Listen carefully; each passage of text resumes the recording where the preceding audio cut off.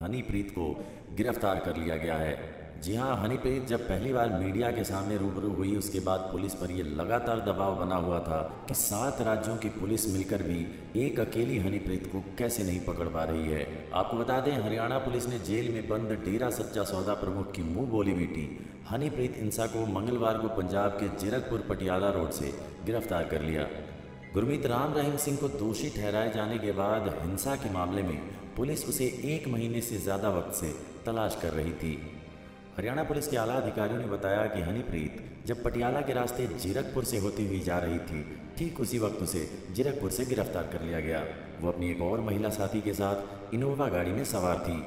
बलात्कार मामले में गुरमित राम रहीम सिंह को दोषी ठहराए जाने के बाद जो हिंसा हुई और उस हिंसा में जिन 43 लोगों की सूची बनी है, जो लोग गिरफ़्तार होने हैं, उनमें सबसे ऊपर नाम हनीप्रीत का था और उस हनीप्रीत को अब पंजाब में जिरकपुर पटियाला रोड से गिरफ़्तार कर लिया गया है। हालाँकि कुछ मीडिया के रिपोर्टरों ने ये जानने की कोशिश की कि उन्हें ये गुप्त जानकारी आखिर कैसे मिली और इस बात को पुलिस के अधिकारियों ने ये कहते हुए टाल दिया कि ये खुफिया मामला है और हम इसे साझा नहीं कर सकते। आपको याद दिला दें कि 25 अगस्त को कोर्ट ने राम रहीम को दोषी ठहराया था और बलात्कार के आरोप में उसे 20 साल के लिए जेल भेजा गया था और 25 अगस्त को जो हिंसा भड़की थी, उसमें हनी प्रेत का हाथ होने का दावा किया जाता रहा है। राम रहीम के काले साम्राज्य में राम रहीम के बाद अगर कोई चेहरा, कोई नाम है तो वो हनीप्रीत है। इसलिए इसे पुलिस की एक बहुत बड़ी कामयाबी मानी जा रही है।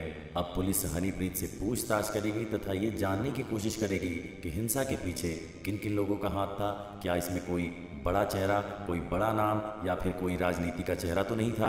कोर्ट में पेश होने से पहले हनीप्रीत का मेडिकल टेस्ट भी कर लिया गया है और आपको बता दें कि मेडिकल टेस्ट में हनीप्रीत एकदम फिट आई है। उसे किसी तरह की कोई मानसिक, कोई शारीरिक परेशानी नहीं है। अब उसे कोर्ट में पेश किया जाएगा तथा कोर्ट में पेशी से बचने के लिए वो बीमारी का बहाना भी नहीं बना सकती, क्योंकि डॉक्टरों की टीम ने मेडिकल टेस्ट में हनीप्रीत को फिट घोषित किया है।